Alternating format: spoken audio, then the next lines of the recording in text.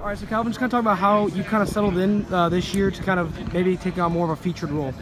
Uh, man, I've been, like I said, I got to thank the good Lord first because without him, none this would be possible. But I've been working hard in the off season, getting my body prepared, getting in shape, getting bigger, working on my pass protection.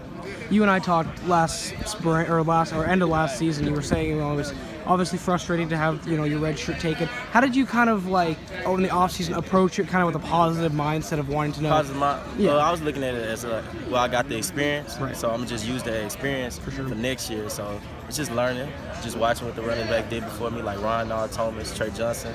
All of them were good role models. AP too, just looking up to them, watching them play.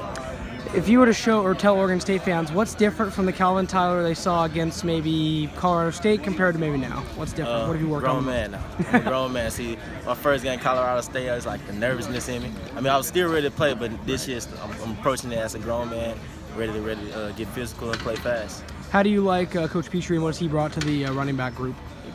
Brought- a lot of uh, confidence to all of us, man. Like we all play play good under Coach Preacher. I mean, he teaches teaches the right thing. Everything we use, everything we use, we go out there and use it in, in a scrimmage or our practice. So it's good things going on right now.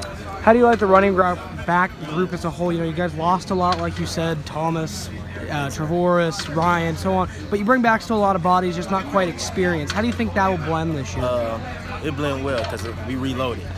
We all like it, I like reloaded. We all can run that ball from from AP on down to uh, Hunter Max, and we all can run the ball this year.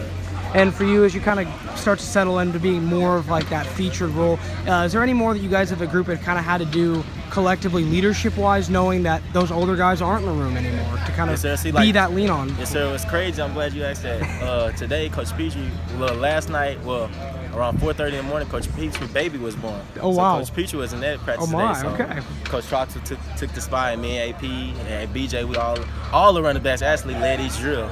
Got through that, getting better. Sounds good. When do you get to go see Coach Pitre's Uh, uh, soon as, probably as soon as I uh, leave this interview.